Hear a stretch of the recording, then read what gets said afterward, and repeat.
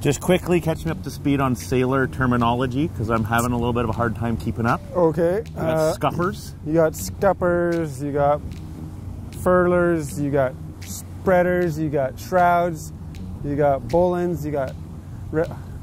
Cantilevers, lug nuts. we got. s- No. You want me to hoist the main?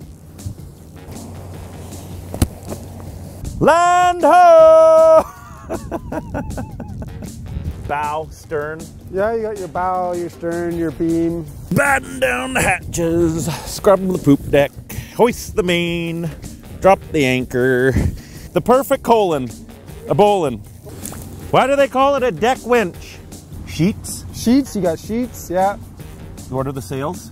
We got the jib, the main, the mizzen. What's the hula hoop for?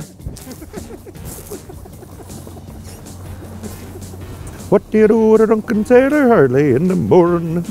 Hula, hula, hula.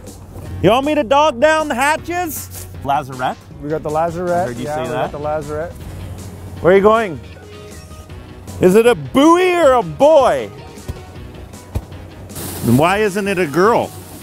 That's sexist. To call it a boy. I'm a maniac, maniac on the floor, on the deck. The little uh, log up ahead. Don't want to hit that. Hard starboard!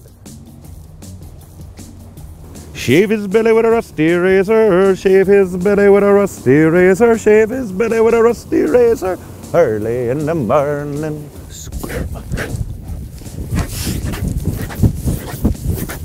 Do they even open from the outside? No. Batten down the hatches. Give some belly scratches.